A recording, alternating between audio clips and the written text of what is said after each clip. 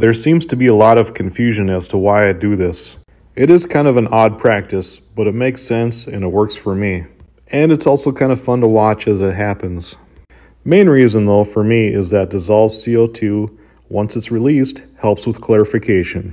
The faster that happens, the sooner I can bottle it. Preventing bottle bombs is the number one reason why you don't want to rely on your airlock activity as an indicator of whether or not your mead is done fermenting. Lately, a lot of creators have stepped up to educate new mead makers on this point. We just want to keep you safe. But besides bottle bombs, there's another reason why you might not want to rely on airlock activity. Using a hydrometer, I was able to determine that this mead was done fermenting about a month ago. Even though it was done fermenting, there was still a little bit of air bubbles coming out of the airlock. That's because not all of the CO2 that's produced during fermentation gets released into the atmosphere. A bunch of it stays dissolved in the mead and is slowly released over time. Using my small vacuum pump, I'm able to speed up this process, and you can see all that dissolved CO2 coming out.